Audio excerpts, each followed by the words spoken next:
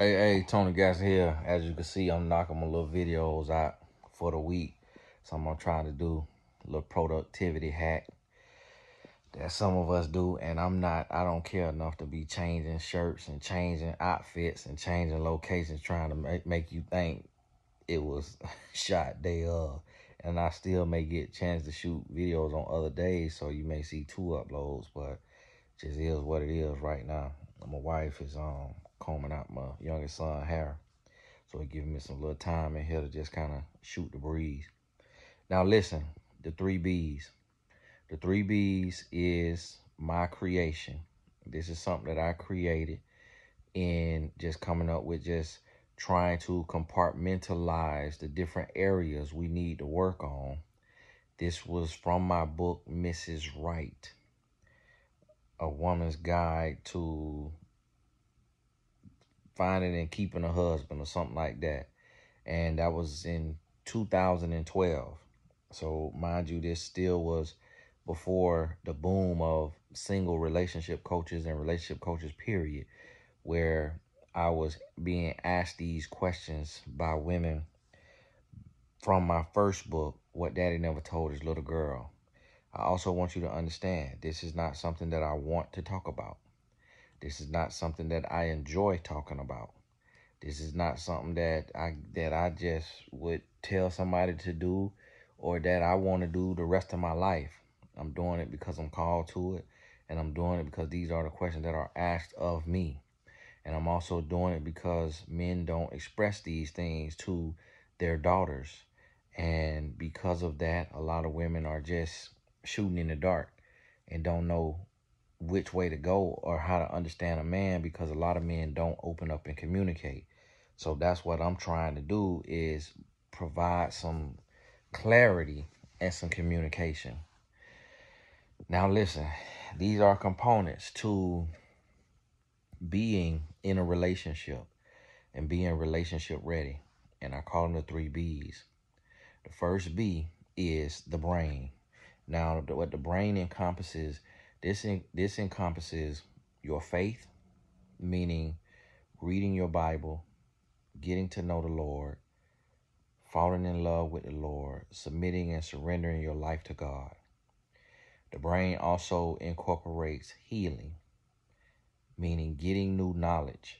Identify your past mistakes, identify your pain points, and get new knowledge. Look at the cause Look at the effect.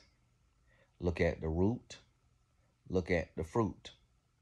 Identify what's in you from your mother, what's in you from your father, and then look at the result of those characteristics. Do they produce good fruit? Do they produce good results? If the answer is yes, then you retain those things. If the answer is no, then you uproot those things and you replant something new, new knowledge, new instruction, a new way of living, a new lifestyle. So the brain encompasses all of these things. Getting knowledge about what mistakes you made in your past relationship, what red flags you missed and what is a healthy relationship? What is love? What is marriage?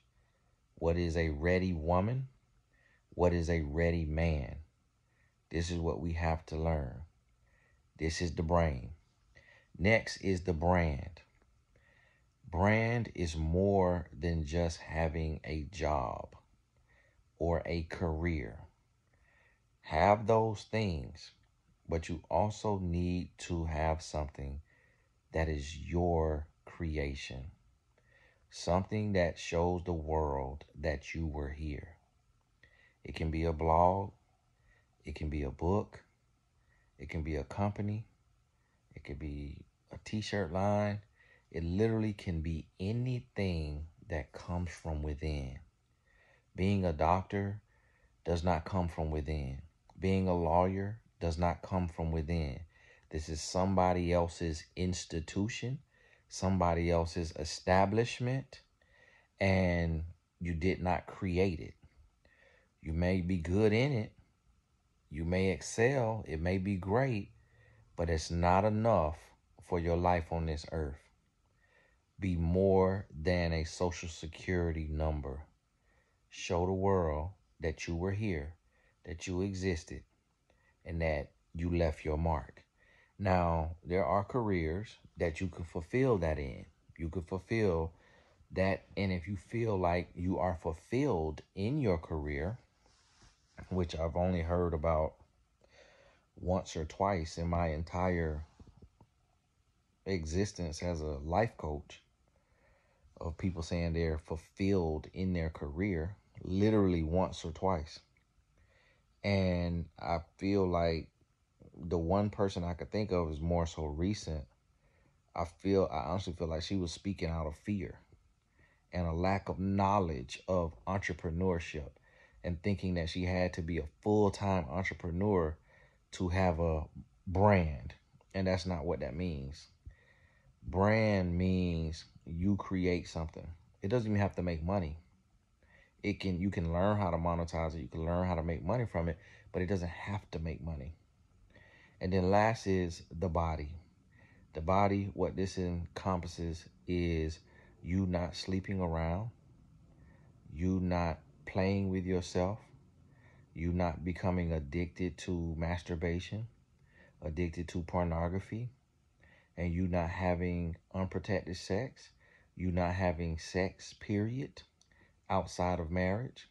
And then also the body is you having a healthy diet, meaning that you're eating clean to the best of your ability, you're drinking clean to the best of your ability, and you're working out every day.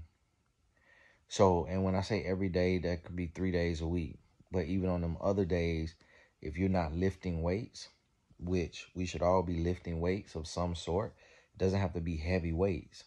You literally could get a five pound dumbbell and do 10 curls. Do 10 curls on the other arm, 10 curls on the other arm.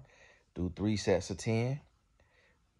You can get on the, the leg press, put a little weights on there, press it out. Lifting weights does not make a woman manly. And it and for a man, it does not mean you have to be a bodybuilder. But you need to lift some type of weights, even if it's your body weight. If you're doing body weight squats, push-ups, sit-ups, planks, that's still lifting weight to a degree. If you don't have actual weights, you can move around. Go to YouTube, look up the proper form, look up workouts on YouTube. You got them, you get them for free. You see the form for free, and then you go to your gym membership or get the equipment, bring it to your house, and you do it right at home. But lift weights. On the days you're not lifting weights, if you do that three days a week, on the other days, you need to be walking at least 30 minutes, moving for at least 30 minutes. And this right here, eating right, working out, and not sleeping around, not getting caught up in addictions, sexual addictions, whether masturbation, pornography, what have you, this encompasses the body.